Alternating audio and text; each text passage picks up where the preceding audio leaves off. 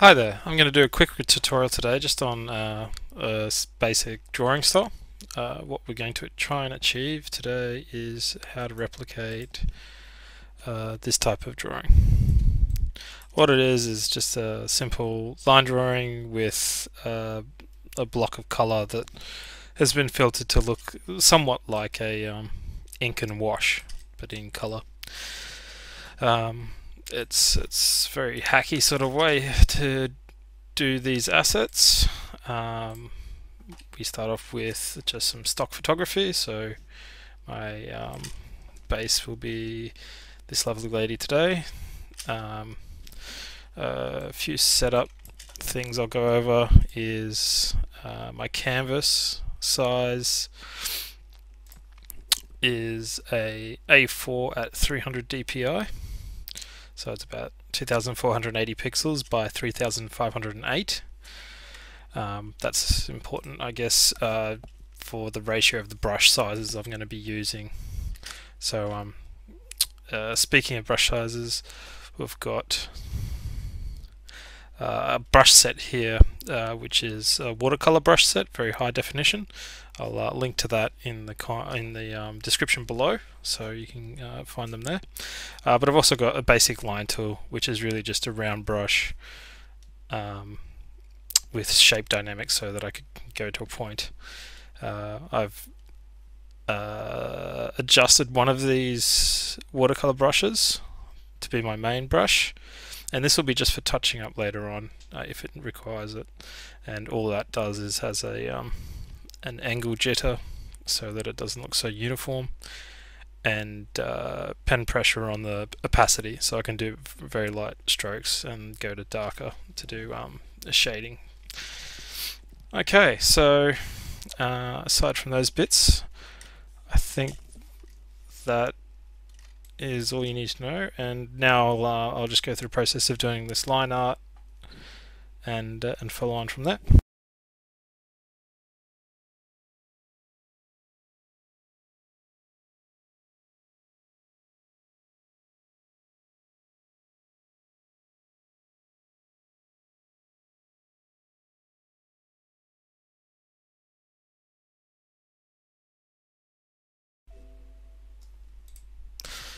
Okay, so we've done the line work now. Um, I'll move away this reference photo. We'll bring that up to full opacity and just make it a bit smaller in the background. We're going to use that just to select the colors to block out the colors in the character and then later on as well for just some of the tonal work that we'll be doing. So I'll just leave her there and then we can block in the color.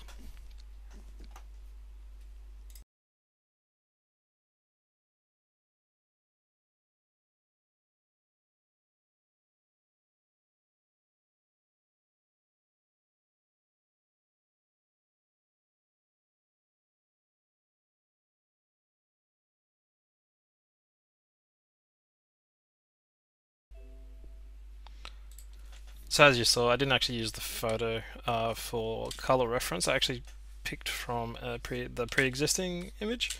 Uh, that way we can keep consistent with these colors. Um, so I just chose a middle um, tone there uh, to do that. Uh, now, um, rather than painting in the colors, I'm going to actually just use the burn and dodge tool just to do some quick shading. Um, easiest way to do that use some big stroke, uh, big brushes. Uh, make sure that your protect tones are on and your exposure is relatively low because otherwise it becomes rather heavy-handed. Um, I could use the photo now just to make sure that the shading I'm doing is, is appropriate, but uh, it's all very much the same. And as long as it sort of looks good, that's the most important thing.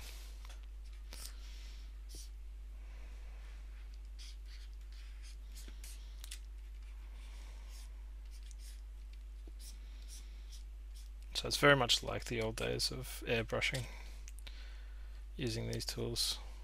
They're actually um, photographic tools for adjusting the exposure in certain areas of the photograph or meant to replicate that at least the old school Photoshop.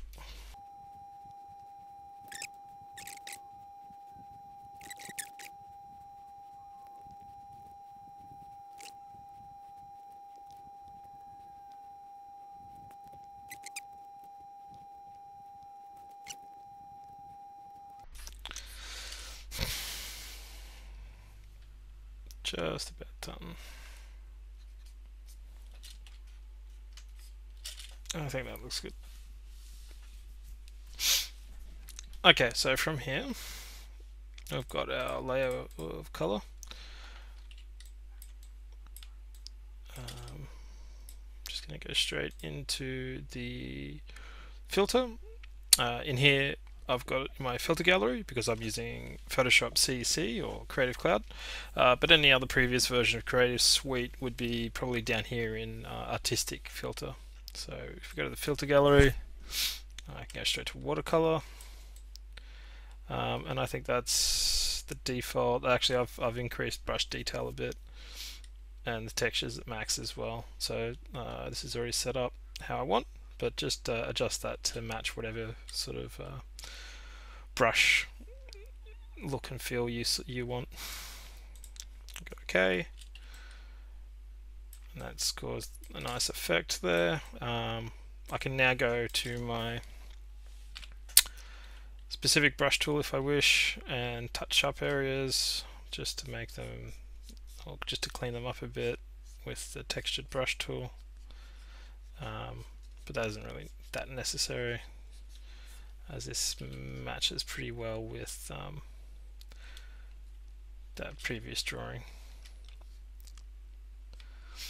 I'll just add a bit of a bit more lighter flesh down here.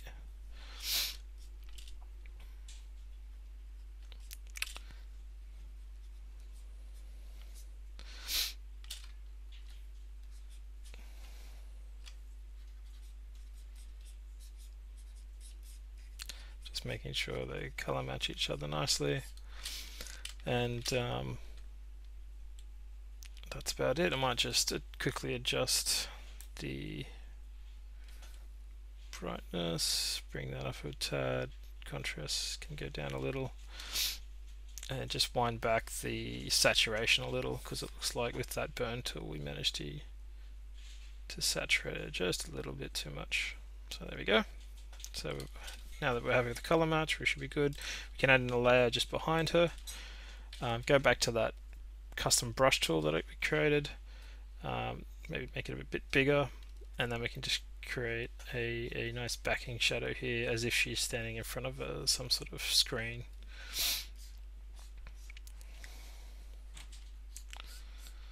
So I go from very light to quite opaque on the uh, on the setting using that pressure.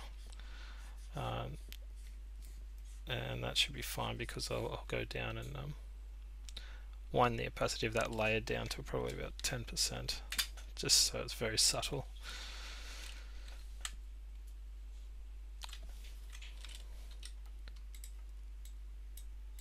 Um, the only other thing, uh, the line work is probably not as dark as I'd like, so I can just increase the strength of that by just duplicating that, that line work layer you can see there that that's, that's made quite the difference and matches nicely with the previous drawing. And that's about it. That's all you need to do. Well, um, thanks for spending the time to view this, and hopefully you can be creating crap like this soon too. Ciao.